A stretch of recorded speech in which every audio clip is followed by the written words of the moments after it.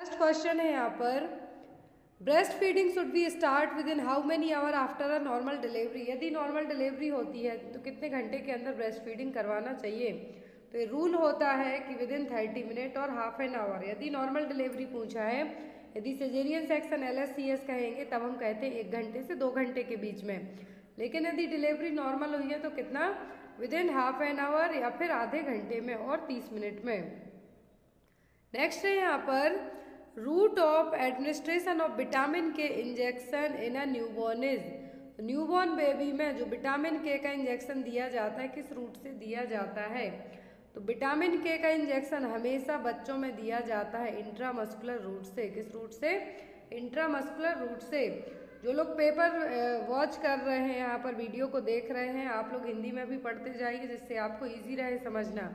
क्योंकि हर एक जगह के जो पेपर होते हैं, हिंदी, इंग्लिश दोनों लैंग्वेज में आते हैं, लेकिन कभी कभी कहीं पर पेपर पूरा हिंदी में आ जाता है। जैसा राजस्थान में लास्ट टाइम हुआ था, लेकिन पेपर बहुत ज़्यादा ईजी आया था, इसलिए उतनी प्रॉब्लम नहीं हुई थी किसी को। विटामिन के का इंजेक्शन दिया जाता है इंट्रामस्कुलर रूट से। नेक्स्ट है यहाँ पर what is the normal temperature of term healthy baby यदि बच्चा 37 जेस्टेशनल वीक के बाद पैदा हुआ है उस बच्चे का जो टेम्परेचर है वो कितना होगा? ऑप्शन में 36 से 37 डिग्री सेल्सियस 36.5 से 37.5 degree Celsius 37.5 to 38 degree Celsius या फिर 38 डिग्री सेल्सियस। तो कितना टेम्परेचर होता है? तो टेम्परेचर नॉर्मल की बात की जा रही है टर्म बेबी में। तो टर्म बेबी में जो टेम्परेचर होता है, वो होता है कितना? सैंतीस पॉइंट पाँच से लेके thirty seven point sorry thirty six point five से लेकर थर्टी सेवन पॉइंट फाइव तक ये क्या है? नॉर्मल टर्म बेबी का टेम्परेचर है। टर्म हेल्दी बेबी का मतलब होता है ऐसे बच्चे जो आफ्टर थर्टी सेवन वीक का जेस्टेशनल पीरियड कंप्लीट करके पैदा हुए हैं। नेक्स्ट है यहाँ पर question number fourth normal average length of the term healthy newborn is जो नॉर्मल लेंथ होती है, एक टर्म हेल्दी न्यूबॉर्न की वो कितनी होती है? लंबाई। 40 सेंटीमीटर 50 60 या फिर पैंसठ। तो नॉर्मल एवरेज लेंथ होती है, किसी भी टर्म हेल्दी न्यूबॉर्न बेबी की, वो होती है 50 सेंटीमीटर। 45 टू 55 तक जाती है, लेकिन ये माँ की हाइट पर भी डिपेंड करता है कि जो माँ का गेस्टर है, वो किस तरीके का है। लेकिन एक एवरेज लेंथ लंबाई पूछी जाती है बच्चे की, तब कितनी होती है? 50 सेंटीमीटर। नेक्स्ट है यहाँ पर joints between two cranial bones are known as तो ऐसे जॉइंट्स दो क्रेनियल बोन्स के बीच में होते हैं, वो क्या कहलाते हैं? फॉन्टेनल्स ब्रेगमा सूचर्स या फिर स्कल जॉइंट्स तो क्या कहलाते हैं ऐसे जॉइंट्स जो दो क्रेनियल बोन के बीच में हो? तो वो कहलाते हैं सूचर्स क्या कहलाते हैं? सूचर्स नेक्स्ट है यहाँ पर uterus becomes pelvic organ after जो यूट्रस है पेल्विक ऑर्गन में कब कन्वर्ट हो जाती है? 18 से 20 दिन में 16 से 18 दिन में 12 से 14 दिन में या फिर 10 से 12 दिन में?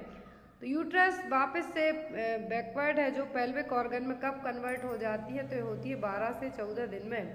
12 टू 14 डेज़ में। नेक्स्ट है यहाँ पर। Diameter of the cervical canal after the complete dilatation तो सर्विक्स जब पूरी फुली डायलेट होती है तो कितने सेंटीमीटर तक होती है? बारह, दस, आठ या फिर छः तो कंप्लीट डायलिटेशन होता है सर्विक्स का कितना? दस सेंटीमीटर कितना होता है? दस सेंटीमीटर आफ्टर दैट और जो डायलिटेशन वाला स्टेप यहाँ पे पूछा है सर्वाइकल सर्वाइकल डायलिटेशन कब होता है? फ़र्स्ट स्टेज ऑफ़ लेबर में. नेक्स्ट है यहाँ पर A nurse is clamping umbilical cord and the nurse knows that the distance from the umbilicus is. यदि अम्बलाइकल कॉर्ड को क्लैम्प किया जा रहा है तो अम्बलाइकस से नाभि से अम्बलाइकल कॉर्ड के बीच का डिस्टेंस कितना होना चाहिए? 2.5 सेंटीमीटर 5 सेंटीमीटर 7 सेंटीमीटर या फिर 5.5 सेंटीमीटर तो कितना डिस्टेंस होना चाहिए? ढाई सेंटीमीटर जिसको हम कहेंगे 2.5 सेंटीमीटर जो अम्बलाइकस है नाभि जिसको हम कहेंगे नाभि से अम्बलाइकल कॉर्ड के बीच का जो डिस्टेंस है क्लैंप करने के लिए कितना होगा? 2.5 सेंटीमीटर। नेक्स्ट है यहाँ पर, maximum Apgar scoring. Apgar score पूछा है न्यूबॉर्न बेबी का तो मैक्सिमम कितना होता है? आठ, दस, तेरह, तेईस। मैक्सिमम स्कोर का मतलब होता है सबसे हाईएस्ट तो वो होता है कितना? दस। यदि आठ से अब अब सेवन है दैट मीन्स क्या है? बच्चा हेल्दी है। बिलो सेवन जाता है तो मॉडरेट कंडीशन में रहेगा। जैसे जितना अफगार स्कोरिंग घटती जाएगी, पाँच पॉइंट यहाँ पे अफगार स्कोरिंग में चेक किए जाते हैं, उसी के अकॉर्डिंग यहाँ पर मैक्सिमम स्कोर कितना होता है? टेन। नेक्स्ट वन है यहाँ पर which colour identification band is use for girl newborn baby तो गर्ल न्यूबॉर्न बेबी के लिए कौन से कलर का आइडेंटिफिकेशन बैंड यूज़ किया जाता है? हॉस्पिटल में ऐसा तो होता नहीं। कि बच्चा पैदा हुआ और नाम रख के वो सुनने लगेगा। आपका तो उसको एक बैंड पहनाया जाएगा, जिसमें क्या लिखा जाता है? मदर का नाम और जो बच्चे किस टाइम पर डिलीवर हुआ है वो।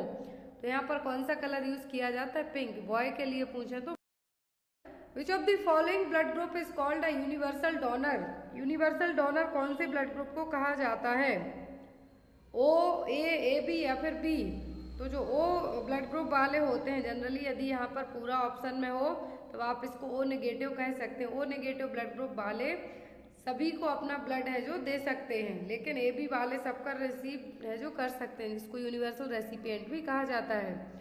Next one which gland in the human body is called the master gland तो मास्टर ग्रंथि ह्यूमन बॉडी की कौन सी ग्लैंड कहलाती है? पेरोटिड पिट्यूटरी थायराइड या फिर सबलिंगुअल। मास्टर ग्रंथि, कौन सी कहलाती है? तो वो कहलाती है पिट्यूटरी ग्लैंड। इसको हिंदी में कहें तो क्या है? पीयूष ग्रंथि। Next one, smallest cell of the human body. तो ह्यूमन बॉडी की सबसे छोटी सेल्स कौन सी हैं? Sperm, blood cell, stem cell या फिर ओबम। स्मॉलेस्ट सेल पूछा है तो वो स्पर्म। यदि लार्जेस्ट और बिगेस्ट सेल पूछते तब हम कहते हैं ओबम लेकिन यहाँ पर स्मॉल पूछा है तो क्या है वो? वो है sperm next one largest muscles of the human body human body की सबसे लार्जेस्ट मसल्स कौन सी है? डेल्टोइड एबडक्टर ग्लूटियस या फिर तो लार्जेस्ट मसल है ह्यूमन बॉडी की. कौन सी मसल तो वो है ग्लूटियस मैक्सिमस मसल्स कौन सी? Gluteus maximus muscles next question की तरफ़ मूव करेंगे हम. क्वेश्चन है what is the average length of the ureter एक यूरे जो यूरेटर है ब्लैडर से सॉरी किडनी से ब्लैडर तक यूरिन को लेके आते हैं, जो पाइप टाइप के रहेंगे यूरेटर उनकी लेंथ कितनी होती है? पंद्रह सेंटीमीटर अठारह सेंटीमीटर 25 सेंटीमीटर की 32 सेंटीमीटर कितनी लेंथ होती है? तो वो होती है 25 सेंटीमीटर और 25 centimetre next one how many carpal bones are there in hand? तो हाथ में कितनी कार्पल बॉन्स होती हैं? तो हाथ की बात की जा रही है, जो कार्पल बॉन्स है, कितनी होती हैं? आठ। Next one, heart rate is initiated by तो हार्ट रेट को इनिशिएट करने का काम कौन करता है? A B node S A node Purkinje fibres या फिर नन ऑफ़ दीज तो ये काम करता है S A node sino atrial node next है यहाँ पर question largest and most complicated joints in human body is तो ह्यूमन बॉडी का सबसे बड़ा और कॉम्प्लिकेटेड जॉइंट्स कौन सा है? पाइवॉइड ग्लाइडिंग शोल्डर या फिर नी जॉइंट तो सबसे कॉम्प्लिकेटेड भी पूछा है और लार्जेस्ट भी पूछा है तो होता है नी जॉइंट कहाँ का? घुटने का जो जॉइंट है वो सबसे कठिन और जटिल जोड़ है। नेक्स्ट है यहाँ पर question which of the following is only movable bone of scale skull sorry जो आपका मस्तिष्क है, इसकी ओनली हिलने डुलने वाली बोन कौन सी है? थिमोइड है मैंडिवल है फ्रंटल है फिर मैग्जिला है?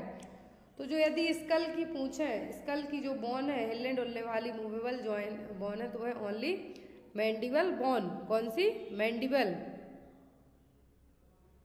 next one total number of intercostal muscles तो इंटरकोस्टल मसल्स जो रिप्स केज के यहाँ पर रहेंगी। तो उनके लिए टोटल कितनी होती हैं? वो तो टोटल होती हैं ग्यारह। कितनी होती हैं? इंटरकोस्टल जो मसल होती हैं ह्यूमन बॉडी में कितनी होती हैं? ग्यारह। नेक्स्ट है यहाँ पर anaemia is cause due to deficiency of तो एनीमिया किसके कारण होगा? आयरन की कमी के कारण विटामिन बी ट्वेल्व की कमी के कारण बोथ एंड वी या फिर नन ऑफ़ दीज तो एनीमिया इन दोनों की कमी के कारण हो सकता है। तो यहाँ पर आपका आंसर होगा A and B next question है यहाँ पर वाइल इज़ प्रोड्यूस्ड फ्रॉम तो वाइल सेल का प्रोडक्शन करता कौन है? गॉल ब्लैडर करेगा लिवर सेल्स करेंगी पैंक्रियास करेगा, कि स्प्लीन करेगा? क्वेश्चन नंबर ट्वेंटी टू कि बाइल का प्रोडक्शन तो प्रोडक्शन करती हैं लिवर सेल्स स्टोरेज करता है गॉल ब्लैडर यहाँ पर आपको याद रखना है, यदि ओनली प्रोडक्शन पूछा है, तब आपको कहना है लिवर सेल यकृत की कोशिकाएँ। लेकिन यदि यहाँ पे कहा जाता है कि जो बाइल का स्टोरेज है वो स्टोर करने का काम कौन करता है? तो वो करता है गॉल ब्लैडर नेक्स्ट है यहाँ पर duration of bleeding in menstrual cycle तो जो मेंस्ट्रुअल साइकिल होती है पीरियड्स होते हैं, उसमें कितने दिन तक ब्लीडिंग होती है? एक से पाँच दिन तक, एक से सात दिन तक, तीन से पाँच दिन या फिर एक से तीन दिन? जनरली जो यहाँ पर यदि 28 दिन की जो पीरियड्स 28 दिन में आपकी जो मेंस्ट्रुअल साइकिल आती है पीरियड्स आते हैं तो उसमें एक से पाँच दिन तक ब्लीडिंग होगी। कितनी? एक से पाँच दिन तक। Next one exclusive breast feeding is recommended तो एक्सक्लूसिव ब्रेस्ट फीडिंग का मतलब only breast milk other than कुछ भी नहीं।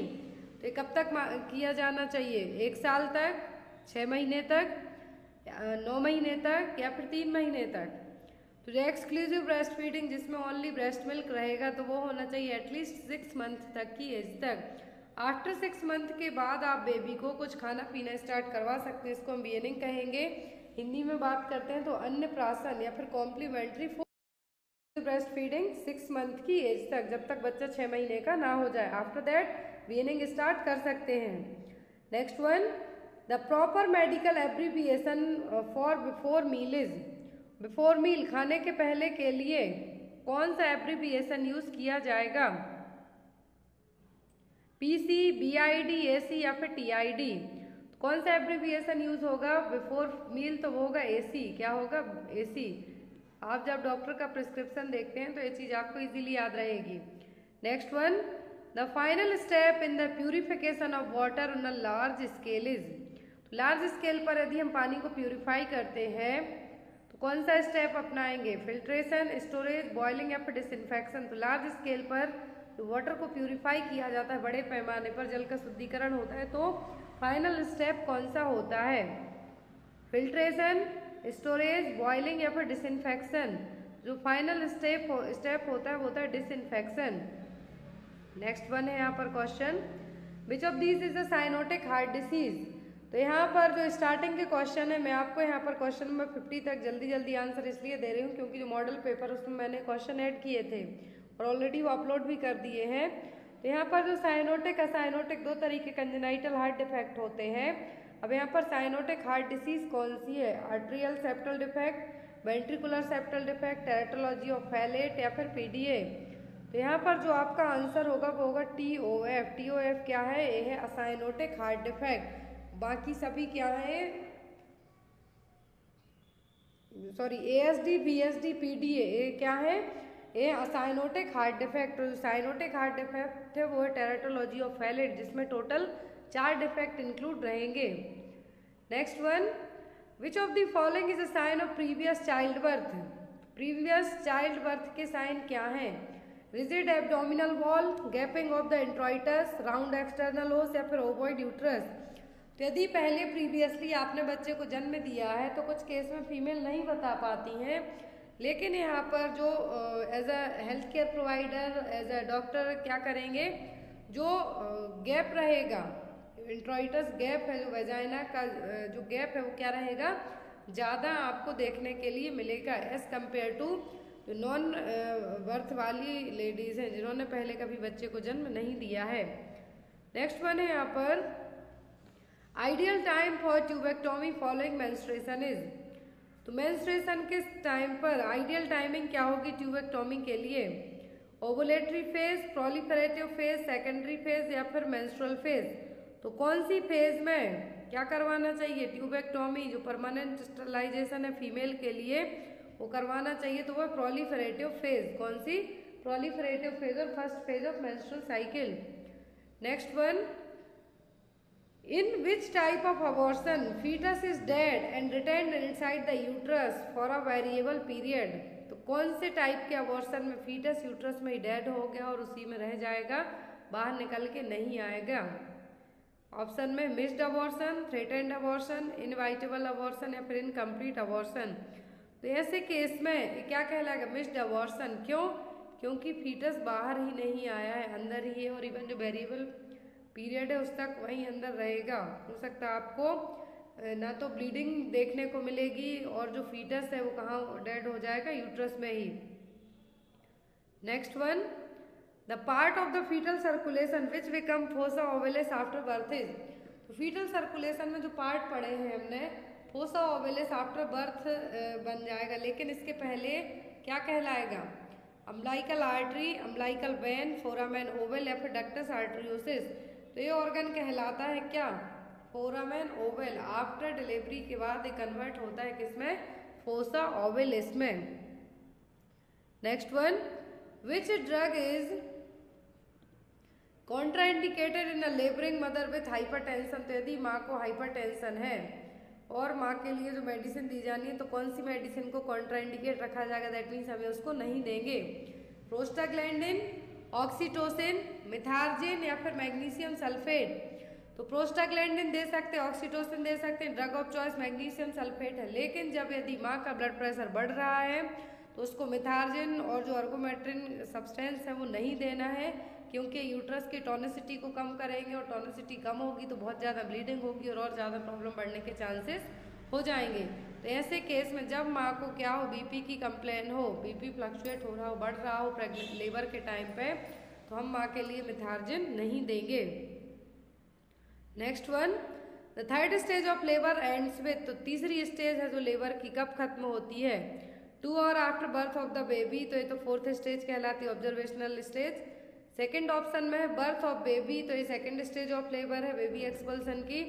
थर्ड है यहाँ पर डिलीवरी ऑफ़ प्लेसेंटा तो ये कहलाती है थर्ड स्टेज ऑफ़ लेबर और फुली सर्वाइकल डायलिटेशन स्टेज कहलाती है फ़र्स्ट स्टेज ऑफ़ लेबर और यहाँ पे पूछा है थर्ड स्टेज ऑफ़ लेबर तो आपका आंसर होगा डिलीवरी ऑफ़ प्लेसेंटा नेक्स्ट है यहाँ पर if the infectious disease can be transmitted directly from one person to another it is called यदि कोई भी इन्फेक्शियस डिसीज एक पर्सन से किसी दूसरे पर्सन को डायरेक्ट ट्रांसमिट होती है तो क्या कहलाएगी? Susceptible host communicable disease portal of entry या फिर पोर्टल ऑफ़ एग्जिट तो ये डिसीज कहलाएगी, कौन सी disease communicable disease next one infectious disease such as hepatitis B and C become a reservoir for pathogen in जितनी भी इन्फेक्शियस डिसीज़ हैं, जिनमें से हेपेटाइटिस बी और सी के लिए रिजर्वर जो हेपेटाइटिस बी और सी वायरस है, इनके जो पैथोजन है, उनको रिजर्वर का काम कहाँ पे होगा? ब्लड में. यूरिनरी ट्रैक्ट में, रेस्पिरेटरी ट्रैक्ट या फिर रिप्रोडक्टिव हेपेटाइटिस बी हो गया और सी का जो रिजर्वर है, वो कौन है? तो वो होंगे ब्लड। क्या हो गए? ब्लड और ब्लड प्रोडक्ट। तो यहाँ पर आप मार्क कर सकते हैं ऑप्शन नंबर ए को। नेक्स्ट क्वेश्चन है यहाँ पर। To sterilize surgical instrument and surgical dressing. तो यदि आप सर्जिकल इंस्ट्रूमेंट और सर्जिकल ड्रेसिंग को स्टरलाइज करते हैं, कैसे करेंगे?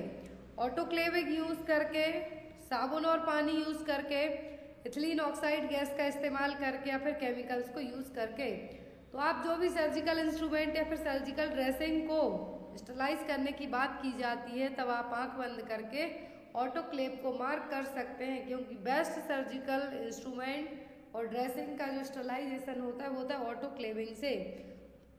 और जो बेस्ट केमिकल स्टरलाइजेशन होता है, वो होता है सोडियम हाइपोक्लोराइड से। Next one hospital acquired infection are often related to poor hand washing and hospital acquired infection है स्पेशली इसको हम नोजोकोमिल इन्फेक्शन कहें हॉस्पिटल से होगा तो ये पुअर हैंड वॉशिंग के अलावा और किस चीज़ से हो सकता है? Poor urinary output poor perineal hygiene urinary drainage bag से या फिर इम्प्रॉपर कैथेटर केयर से।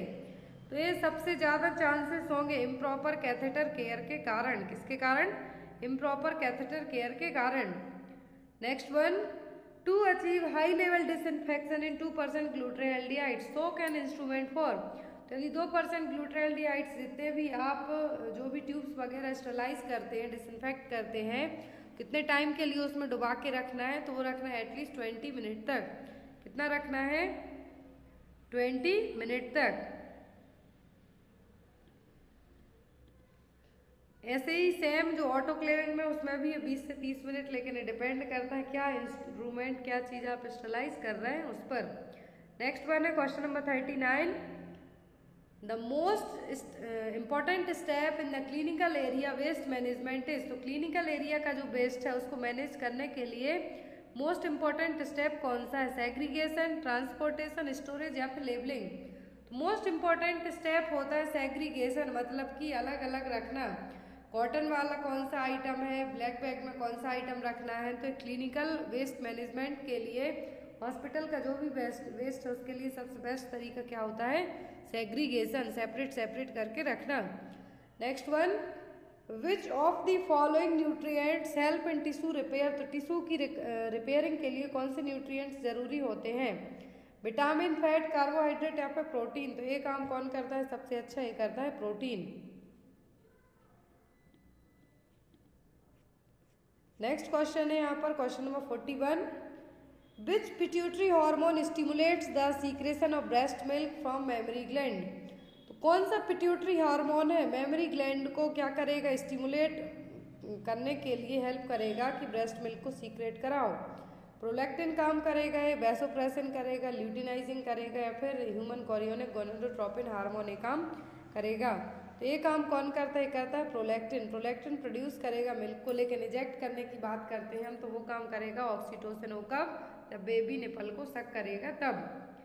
नेक्स्ट है यहाँ पर which of which is the main source of estrogen and progesterone after the three month of pregnancy तीन महीने की प्रेगनेंसी के बाद एस्ट्रोजन और प्रोजेस्ट्रॉन जो कि एक नॉर्मल हेल्दी प्रेगनेंसी के लिए बहुत ज़्यादा ज़रूरी होते हैं, इनको रिलीज़ करने का काम कौन करता है? तीन महीने की प्रेगनेंसी के बाद। हाइपोथैलेमस पिट्यूटरी ग्लैंड प्लेसेंटा या फिर ओब्री। तो कौन है जो तीन महीने की प्रेगनेंसी के बाद अपना खुद का एस्ट्रोजन और प्रोजेस्ट्रॉन बनाने का काम करने लगता है? तो वो है यहाँ पर ओब्री। क्या होगा? ओब्री। सॉरी जो तीन महीने की प्रेगनेंसी के बाद जो अपना हार्मोन बनाएगा वो है placenta before that a hormone ovary का जो कॉर्पस ल्यूटियम है, वो करेगा रिलीज़ लेकिन यहाँ पर तीन महीने की प्रेगनेंसी के बाद पूछा यदि इनिशियल प्रेगनेंसी पूछे, तब आप ओवरी को मार्क कर सकते हैं, क्योंकि ओवरी का जो कॉर्पस ल्यूटियम है, वो बनाएगा इसको। लेकिन आफ्टर थ्री मंथ की प्रेगनेंसी के बाद का यदि पूछा जाता है तो आपको कहना है प्लेसेंटा नेक्स्ट वन है यहाँ पर आइसलेट्स ऑफ़ लैंगरहेंस प्रोड्यूस तो आइसलेट्स ऑफ़ लैंगरहेंस प्रोड्यूस करती हैं इसकी अल्फ़ा बीटा डेल्टा सेल्स तो insulin somatostatin and glucagon hormone सभी लैंगरहेंस से ही प्रोड्यूस किए जाते हैं। और ये लैंगरहेंस आइसलेट्स ऑफ़ लैंगरहेंस कहाँ पर होता है? पैंक्रियाज में। Next one anterior fontanelles normally closes between the age of तो जो एंटीरियर फॉन्टेनेल हैं, किस एज के में बंद हो जाते हैं? दो से तीन महीने में, बारह से अठारह महीने में, तीन से छः महीने में, या फिर एक से नौ महीने में। तो एंटीरियर पोस्टीरियर दो तरीके के फॉन्टेनल होते हैं, और जो यहाँ पे कहा है क्लोज होने के लिए तो वो एंटीरियर जो कि 12 से 18 महीने की एज में क्लोज हो जाते हैं और जो पोस्टीरियर है वन टू थ्री मंथ की एज में ही क्लोज होना स्टार्ट हो जाते हैं। लेकिन जो एंटीरियर है, वे बारह से अठारह महीने में क्लोज होंगे। Next one which of the following is the combined vaccine तो इनमें से कंबाइंड वैक्सीन कौन सी है? ओरल पोलियो बीसीजी डीपीटी या फिर रेबीज तो कंबाइंड वैक्सीन की बात की जा रही है तो कंबाइंड वैक्सीन है DPT diphtheria pertussis tetanus rabies rabies को प्रिवेंट करने के लिए दी जाएगी। एमएमआर के साथ में दे देते हैं। बीसीजी है जो at the time of birth दी जाती है। यदि at the time of birth नहीं दे पाए तो वन मंथ तक सॉरी वन ईयर तक दे सकते हैं। Zero to one year sorry one month और one month to one year तक का डोज बस अलग होगा। रूट सेम होगा। नेक्स्ट है यहाँ पर infection of the middle ear is called तो यदि मिडल ईयर में इन्फेक्शन होता है तो हम उसको क्या कहेंगे? Sinusitis mastoiditis otitis media labyrinthitis तो इन्फेक्शन मिडिल ईयर का है, तब हम उसको कहेंगे ओटाइटिस मीडिया क्या कहेंगे? Otitis media next one the process of development of matured ovum is called ऐसी प्रोसेस जिसमें मैच्योर ओवम का डेवलपमेंट होगा, क्या कहलाएगी? ओव्यूलेशन यूफोरिया यूजेनेसिस या फिर ऊसाइड तो ये प्रोसेस क्या कहलाएगी? ये कहलाएगी आपकी ऊजेनेसिस मैच्योर ओवम बन रहा है डेवलप हो रहा है तो ऊजेनेसिस मतलब प्रोसेस ओव्यूलेशन का मतलब क्या है? जो ओवम बना हुआ है, उसको रिलीज़ कर दिया. यूफोरिया देखने को मिलेगा मैनिया के पर्सन में. और ऊसाइड क्या है? सेल है. नेक्स्ट है यहाँ पर. Rods and cones are the structure of rods और कौन से दोनों किसका पार्ट है? तो ये आँखों का पार्ट नेक्स्ट क्वेश्चन है यहाँ पर. Pertussis vaccine is contraindicated if the child has pertussis vaccine contraindicate होती है कौन से बच्चों में? यदि बच्चे को क्या है? हिस्ट्री ऑफ़ कन्वर्जन्स है हिस्ट्री ऑफ़ जुबिलाइन डायबिटीज़ है हिस्ट्री ऑफ़ जॉइंडेस या फिर हिस्ट्री ऑफ़ टीबी है ट्यूबरक्लोसिस तो जो पर्ट्यूसिस वैक्सीन होती है, क्या है पर्ट्यूसिस जिसको हम सौ दिन की खांसी हंड्रेड डेज़ कफ कहेंगे या फिर बूफिंग कफ कहेंगे? तो इसके लिए जो वैक्सीन दी जाती है डीपीटी में जो पर्टिसिस कंटेंट होता है तो उससे क्या होता है, जिन बच्चों को कन्वर्जन्स प्रीवियसली जिन बच्चों को पहले क्या है फिट्स आए हैं कन्वर्जन्स की हिस्ट्री रही उनको अवॉइड की जाती है, क्योंकि इसको देने से और ज़्यादा चांसेस हैं जो बढ़ जाते हैं। तो इसीलिए हिस्ट्री ऑफ़ कन्वर्जन वालों को पर्टिसिस वैक्सीन अवॉइड पर vaccine contraindicated during the pregnancy तो प्रेगनेंसी में कौन सी वैक्सीन कॉन्ट्राइंडिकेट रखी जाती है? ऑप्शन में है यहाँ पर रुबेला ओपीवी टिटनस या फिर इन्फ्लुएंजा तो प्रेगनेंसी में यदि प्रेगनेंसी है तो कौन सी वैक्सीन कॉन्ट्राइंडिकेट रखी जाती है? वह रूबेला वैक्सीन। कौन सी है? रूबेला वैक्सीन को कॉन्ट्राइंडिकेट रखा जाता है। इवन रूबेला एंटीबॉडी को डिटेक्ट करने के लिए कंसीव करने के बाद ही रूबेला एंटीजन टेस्ट भी किया जाता है। Next one which one of the following is an antioxidant तो इनमें से एंटीऑक्सीडेंट क्या है? कैल्शियम है विटामिन ई e है विटामिन बी है या फिर विटामिन ए है? कौन सा है जो एंटीऑक्सीडेंट है? तो वो है यहाँ पर आपका विटामिन ई e. कौन सा? विटामिन ई e जिसको एंटीऑक्सीडेंट भी कहा जाता है।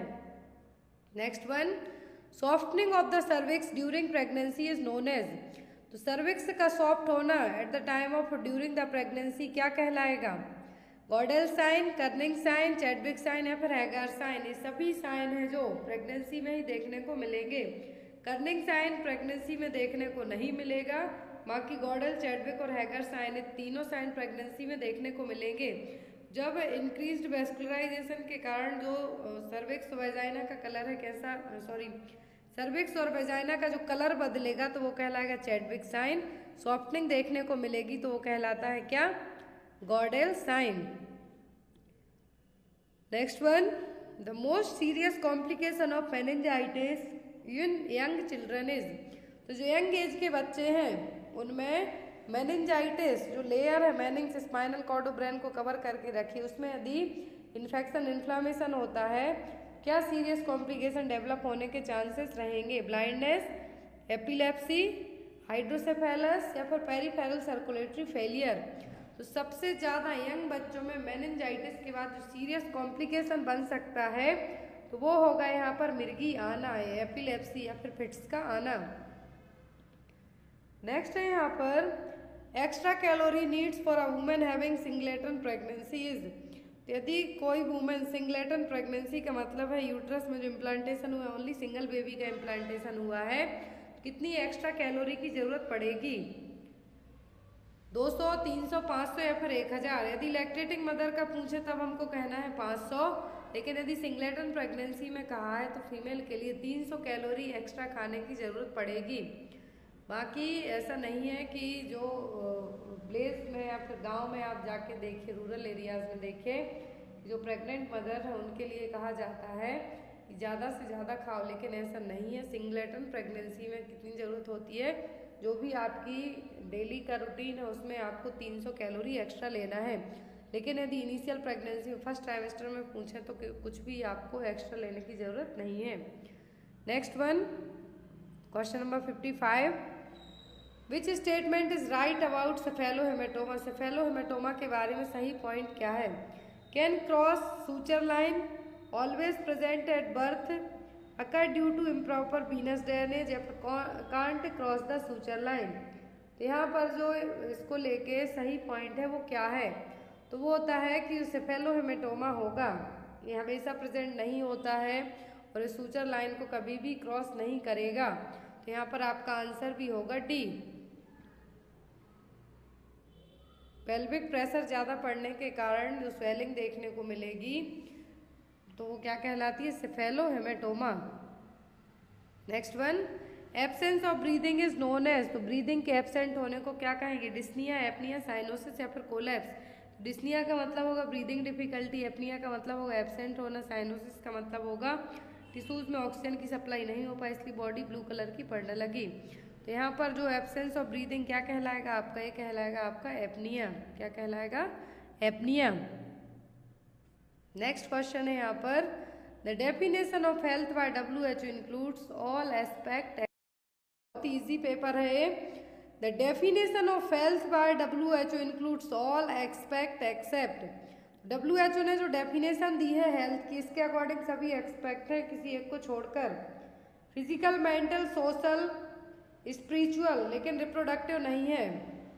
Physical mental and social well being not mainly in absence of disease तो यहाँ पर ऑप्शन में रिप्रोडक्टिव है और जो कि नहीं है इसका पार्ट तो यहाँ पर आपका आंसर क्या होगा? C next one normal duration of involution of uterus involution का मतलब यूट्रस अपनी नॉन प्रेग्नेंट स्टेट में रिवर्ट बैक होना आफ्टर द डिलीवरी तो इसके लिए कितना टाइम लग जाता है? छः महीने छः हफ़्ते, दो महीने या फिर तीन महीने?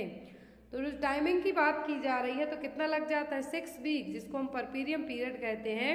इसमें यूट्रस के अलावा जो बाकी और ऑर्गन है, वो भी रिवर्ट बैक हो जाते हैं नॉन प्रेग्नेंट स्टेज में। नेक्स्ट है यहाँ पर, यदि जब यूट्रस नॉर्मल अपने सेप साइज़ में वापस रिवर्ट बैक नहीं होती, तब उसको हम कहते हैं subinvolution next one difference between oral and axillary temperature तो ओरल और एक्सिलरी टेम्परेचर के बीच में कितना डिफरेंस होता है? ज़ीरो पॉइंट सिक्स डिग्री का, वन डिग्री का, वन पॉइंट फाइव का या फिर ज़ीरो पॉइंट वन का। तो जब आप ओरल और एक्सिलरी टेम्परेचर ले रहे हों तो जो बीच का जो डिफरेंस है वो कितना होता है, वो जनरली ज़ीरो पॉइंट फाइव होता है, लेकिन ऑप्शन में ज़ीरो पॉइंट सिक्स है तो आप इसको भी मार्क कर सकते हैं। Initial sign of respiratory distresses. तो रेस्पिरेटरी डिस्ट्रेस का इनिशियल मतलब अर्ली साइन क्या है? साइनोसिस ग्रंटिंग साउंड टैकिपनिया या फिर नेजल फ्लेयरिंग तो इनिशियल साइन की बात की जा रही है तो इनिशियल साइन कौन सा है? तो वह नेजल फ्लेयरिंग क्या है? नेजल फ्लेयरिंग जब सांस लेंगे बच्चे तो नाक के यहाँ पर आपको जो नेजल है, जो नोस्ट्रल है, वो क्या रहेंगे? आपको ज़्यादा है, जो फास्ट फास्ट तरीके से दिखाई देंगे। तो क्या है? नेजल फ्लेयरिंग नेक्स्ट वन है यहाँ पर। A nurse is assessing a newborn during eye examination यदि कोई नर्स किसी न्यूबॉर्न बेबी के लिए असिस्ट कर रही है, क्या कर रही है? यदि कोई नर्स किसी न्यूबॉर्न बेबी को क्या कर रही है? असिस्ट कर रही है आई एग्जामिनेशन कर रही है which assessment finding is abnormal about normal pupil तो यदि आप बच्चे की न्यूबॉर्न बेबी की आँखों का एग्जामिनेशन करते हैं तो यहाँ पर कौन सी असिसमेंट आपको बताएगी? जो न्यूबॉर्न बेबी की पीपल्स हैं, वो क्या एबनॉर्मल है? इसमें कुछ असामान्य है। Equal pupil in round shape reactive to light या फिर नॉन रिएक्टिव टू लाइट क्या होगा जिससे पता चलेगा कि बेबी की जो पुतलियाँ हैं वो सही तरीके से काम नहीं कर रही हैं? तो होगा non reactive to light round से पैसे ऐसे घुमाएगा इक्वली करेगा. लाइट देख के आइस ब्लिंक करेगा. लेकिन लाइट देख के ब्लिंक नहीं कर रहा है दैट मीन्स बेबी की आइस की जो प्यूपल है, इनमें कुछ प्रॉब्लम है. नेक्स्ट है यहाँ पर which assessment finding is not related to preterm newborn baby मतलब यहाँ पर कौन से साइन है जो बताएँगे कि ये प्रीटम बेबी के साइन नहीं है?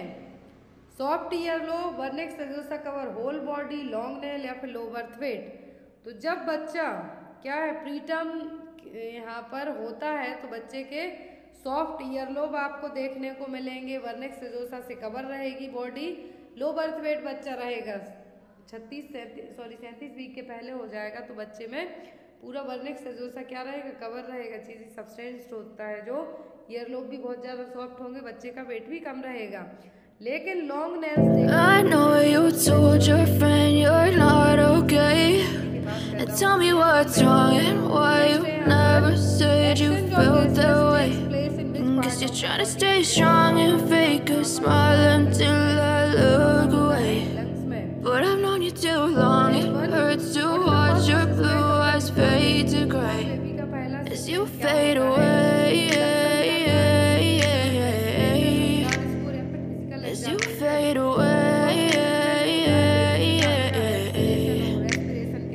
Yeah, I'm about to fade away. Cause every time I wake up I feel like it's Monday. Something's going wrong with all the chemicals up in my brain. All of a sudden I don't look at anything the same way. Gotta build up of my thoughts sitting in an ashtray. I'm sorry that I'm so inconvenient, okay. Just let me be me and I'll stay out of your way. I can see the way you look at me, such a disgrace. I never really asked to be brought into this place. You wanna love me? Well then baby I have a taste. All the highs and the lows, no you'll never be the same. I don't really wanna hurt you but I can't control the pain. If you're sticking by my side, maybe we could be okay. Okay, okay, maybe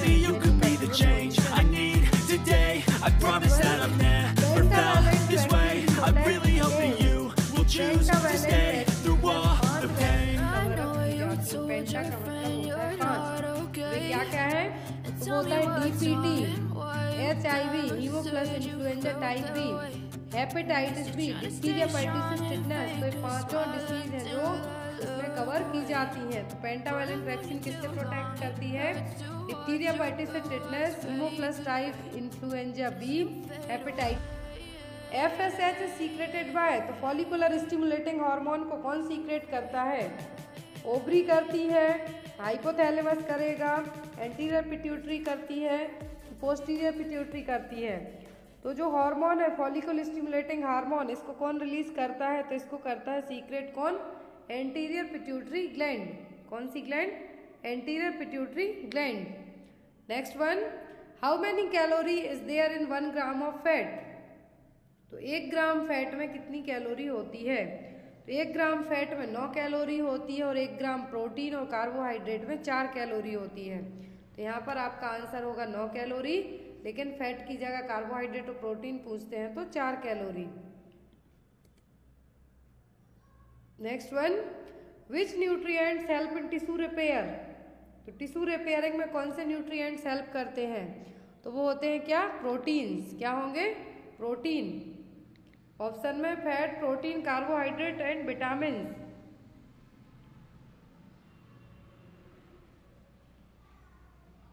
next है यहाँ पर question. Question number seventy.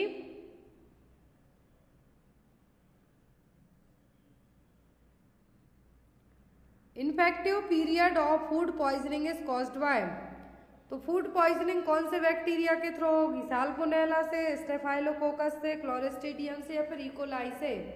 तो जो food poisoning का जो infection होता है generally वो होता है साल्मोनेला से। और इससे साल्मोनेला से ही क्या होता है? साल्मोनेला टाइफी हो गया। इन सबसे क्या होगा? टाइफॉइड तो यहाँ पर फ़ूड पॉइजनिंग कौन कॉज कर सकता है? तो वह साल्मोनेला क्लोरेस्टेडियम टिटेनी है, जो टिटनस के लिए रिस्पॉन्सिबल है।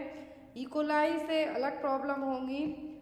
यहाँ पर लेकिन जो फ़ूड पॉइजनिंग का रीज़न होगा वो कौन होगा? Salmonella next one how many drops in a standard drip set makes one M L एक एम एल में तो ड्रिप सेट होता है, कितनी ड्रॉप होती हैं? बीस, पंद्रह, सोलह या फिर बीस? तो कितनी ड्रॉप्स होती हैं? तो ये होती हैं टोटल फिफ्टी ड्रॉप्स कितनी? फिफ्टी ड्रॉप्स एक एम एल में फिफ्टीन ड्रॉप्स रहेंगी। Next one which of the following mineral should be taken by child suffering from rickets तो कौन सा मिनरल दिया जाएगा यदि बच्चे को रिकेट्स है? रिकेट्स कब होता है? जब विटामिन डी की कमी हो जाती है बच्चों में। तो विटामिन डी की कमी होती है और विटामिन डी के साथ साथ क्या ज़रूरी होता है? तो चाहिए पड़ता है कैल्शियम जिसके कारण बॉन्स मज़बूत रहें। विटामिन डी को एब्जॉर्ब करने के लिए किसकी ज़रूरत होती है? कैल्शियम की। तो इसीलिए आपका आंसर क्या होगा? कैल्शियम कौन सा मिनरल दिया जाएगा बच्चे को? कैल्शियम नेक्स्ट है यहाँ पर question 73 the most common cause of blindness in India तो भारत में सबसे ज़्यादा अंधापन किसके कारण होता है? कैटरैक्ट के कारण ट्रोकोमा के कारण रिफ्रैक्टिव एरर्स के कारण या फिर विटामिन की कमी के कारण? तो सबसे ज़्यादा इंडिया में जो ब्लाइंडनेस होती है वो होती है मोतियाबिंद और कैटरैक्ट के कारण। Next one frozen DPT vaccine should भी तो यदि डीपीटी वैक्सीन जम गई है फ्रोजन हो गई है, तब आपको क्या करना है? Second thoroughly before use allow to melt before use discard करना है या फिर brought to the room temperature तो यहाँ पर यदि डीपीटी वैक्सीन फ्रोजन है तो हमें इसको तुरंत डिस्कार्ड करना है, ना तो हिला डुला के यूज़ करना है, कुछ नहीं करना है, सीधा इसको अलग कर देना है. Next one the breast milk which secreted after two weeks of delivery is known as देखिए यहाँ पर कितना अच्छा ट्रिकी क्वेश्चन है कि जो ब्रेस्ट मिल्क है टू वीक की डिलीवरी के बाद जो रिलीज़ होगा, वो क्या कहलाएगा? Colostrum transitional milk mature milk या फिर हिंड मिल्क यदि इनिशियल कहते डिलीवरी के तुरंत बाद तो कहलाता कोलेस्ट्रम जो कि येलो कलर का होता है। लेकिन दो वीक की प्रेगनेंसी सॉरी डिलीवरी के बाद कहा है तो ये कहलाता है कौन सा मिल्क ये कहलाएगा मैच्योर मिल्क क्या कहलाएगा? Mature milk next one first deciduous teeth appear in infant at the age of. तो जो पहले डेसिडियस टीथ है, जिनको हम प्राइमरी टीथ भी कह सकते हैं तो ये कब इरप्ट होना स्टार्ट होते हैं? सिक्स मंथ में छः साल में, आठ महीने में कि बारह महीने में? तो छः साल के बाद तो पर ये जो प्राइमरी टीथ आते हैं, दूध के जिसको हम कहते हैं, गिरना स्टार्ट होते हैं। परमानेंट टीथ आना स्टार्ट होते हैं। लेकिन इनिशियल इरप्शन होता है छः महीने की एज से। कब से? छः महीने की एज से। Next one the baby gain is weight within one year of age तो एक बच्चा है जो अपना एक साल में कितना वज़न गेन कर लेगा? Two times of birth weight three times of birth weight four times of birth weight या फिर five times of birth weight तो यदि बच्चे का जो वन, एक साल का पूछा है तो एक साल का बच्चा कितना वेट है जो गेन कर लेगा? तो एक साल के बच्चे के वेट गेन की बात की जा रही है तो एक साल में हो जाता है तीन गुना ट्रिपल डबल हो जाता है पाँच से छः महीने की एज में लेकिन तीन गुने की तीन गुना कब हो जाता है? एक साल में। तो यहाँ पर पूछा, एक साल में कितना हो जाएगा? Three times of the birth weight next one The head circumference and chest circumference become equal in infant at the age of. तो बच्चे का जो हेड सरकमफेरेंस है और चेस्ट सरकमफेरेंस है, किस एज में इक्वल हो जाता है? मतलब दोनों एक से रहेंगे तो वो होता है एक साल की एज में। कब? वन ईयर एज में जो हेड सरकमफेरेंस है और चेस्ट सरकमफेरेंस है दोनों इक्वल हो जाते हैं कब? जब बच्चा एक साल का हो जाए तब।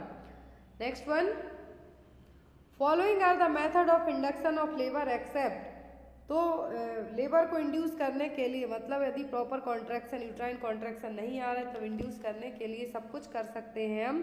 किसी एक को छोड़कर मिथार्जिन देंगे ऑक्सीटोसिन देंगे आर्टिफिशियल रक्चर ऑफ़ मेम्ब्रेन करेंगे, जिसको मेआरएम कहेंगे प्रोस्टाग्लैंडिन देंगे। लेकिन यहाँ पे कहा है, जो नहीं देंगे तो वो होगा मिथार्जिन। हमें मिथार्जिन नहीं देना है। क्यों? क्योंकि मिथार्जिन देंगे यदि हम तो जो यूट्रस के कॉन्ट्रैक्शन आ रहे हैं उनको और क्या करेगा? डिस्टर्ब टोन है जो मसल्स की, वो क्या करेगा? वीक करेगा। इसीलिए हमें क्या करना है? मिथार्जिन नहीं देना है। बाकी सब कुछ दे सकते हैं। Next one, human milk is rich in all except. Human milk में सब कुछ होता है। किसी एक को छोड़कर फैट होगा, प्रोटीन होगा कार्बोहाइड्रेट होगा, लेकिन आयरन नहीं होगा विटामिन सी नहीं होगा विटामिन डी नहीं होगा। तो यहाँ पर आपका आंसर होगा C iron next one Babita L M P begins twenty eight March two thousand seventeen her E D D should be which of the following E D D का मतलब होता है estimated date of delivery calculate कैसे की जाती है? L M P plus nine month plus seven days L M P कब रहा? Last menstrual period L M P का फ़र्स्ट डे काउंट किया जाता है तो वो था अट्ठाईस मार्च दो हज़ार सत्रह को। अब ई डी डी आपको निकालना है तो अट्ठाईस मार्च दो हज़ार सत्रह में नौ महीने जोड़ दें और सात दिन और जोड़ दें। तो टोटल आपका जो डी निकल के आएगा, वो कितना आएगा? तो निकल के आएगा आपका चार जनवरी 2018 कितना? चार जनवरी 2018 next one the inner most layer of the heart तो हार्ट की इनर लेयर कौन सी है? एंडोमेट्रियम पेरिकार्डियम, मायोकार्डियम या फिर एंडोकार्डियम? तो इनर मोस्ट लेयर है हार्ट की, कौन सी? एंडोकार्डियम। कौन सी है? एंडोकार्डियम। नेक्स्ट है यहाँ पर over the counter pregnancy test is considered as over the counter pregnancy test यहाँ पे कहा है तो इसका मतलब क्या है? Possible sign of pregnancy presumptive sign of pregnancy probable sign of pregnancy या फिर पॉजिटिव साइन ऑफ़ प्रेगनेंसी कौन से साइन होंगे? यदि प्रेगनेंसी ओवर द काउंटर है प्रेगनेंसी टेस्ट है जो सही नहीं आ रहा है बार बार तो कौन से साइन माने जाएँगे? तो ये माने जाएँगे प्रोबेबल साइन ऑफ़ प्रेगनेंसी की प्रोबेबिलिटी है। Next one is during pregnancy deficiency of which of the following leads to neural tube defect तो प्रेगनेंसी में किसकी कमी के कारण बच्चे को एंटीटी डेवलप होगा तो वो होता है फॉलिक एसिड क्योंकि जो स्पाइनल कॉर्ड बनना स्टार्ट होती है, वो फॉलिक एसिड के लिए ही सबसे ज़्यादा हेल्पफुल फॉलिक एसिड रहेगा। और यहाँ पर यदि फॉलिक एसिड ही कम हो जाता है तो क्या होगा? न्यूरल ट्यूब डिफेक्ट होने के चांसेस बेबी में ज़्यादा रहेंगे। Next one during which stage of lever placenta is expelled तो हमने कई बार पढ़ा फ़र्स्ट स्टेज में सर्विक्स डायलेट होगी सेकेंड में बेबी बाहर आएगा थर्ड में प्लेसेंटा बाहर आएगा फोर्थ है जो ऑब्जर्वेशनरी स्टेज है। ऑब्ज़र्व करना है मैं माँ को तो यहाँ पर कहा है प्लेसेंटा के लिए तो वो होगा थर्ड स्टेज नेक्स्ट है यहाँ पर which of the following condition is screen by pap smear तो पेप स्मियर से किसका पता करेंगे हम? ओवेरियन कैंसर का एंडोमेट्रियल कैंसर सर्वाइकल फिर ब्रेस्ट कैंसर तो पेप स्मियर में एस्टिक एसिड यूज़ किया जाता है तो किसके लिए होता है? सर्वाइकल कैंसर के लिए.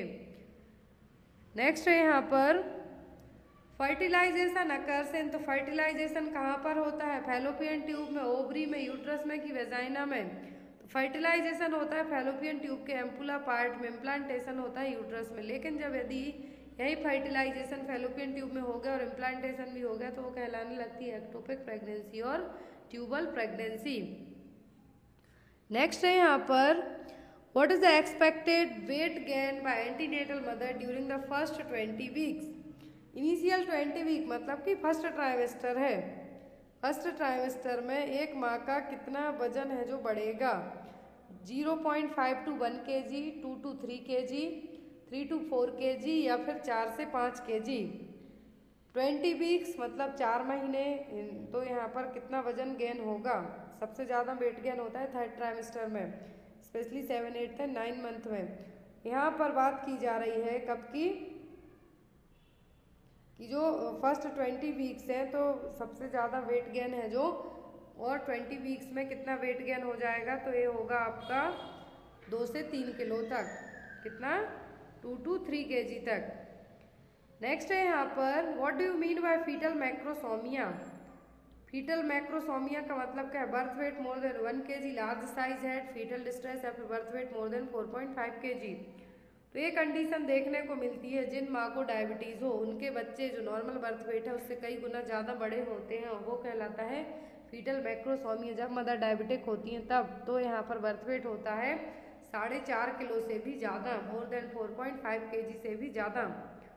नेक्स्ट है यहाँ पर which abdominal grip is use to assess the descend of the head in a pregnant women जो हमने ग्रिप पढ़ी है लियोपोल्ड मैन्यूवर कौन सी ग्रिप है जिससे बेबी का जो हेड है, वो किस पोजीशन में वो चेक करेंगे हम?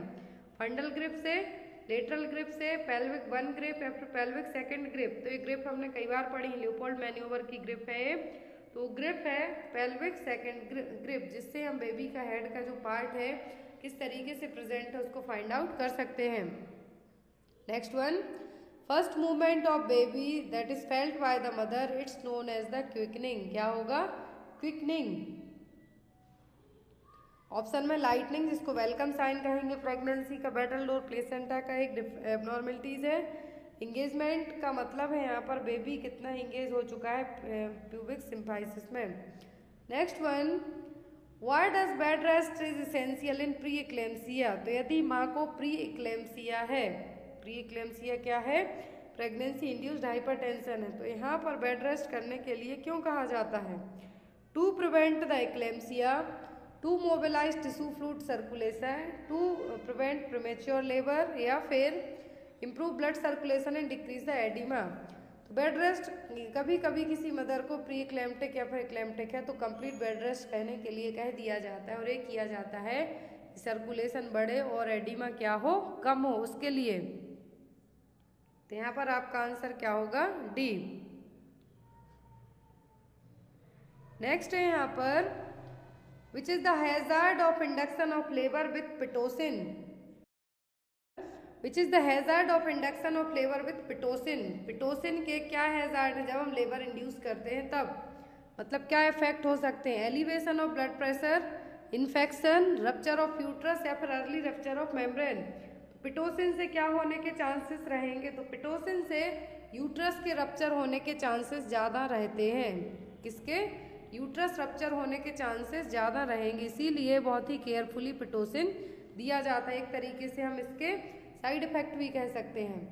Next one which is the common and ideal female pelvis तो होती है गायनेकॉइड पेल्विस गायनेकॉइड पेल्विस को क्या कहा जाता है? आइडियल फीमेल पेल्विस कहा जाता है नॉर्मल वेजाइनल बर्थ के लिए।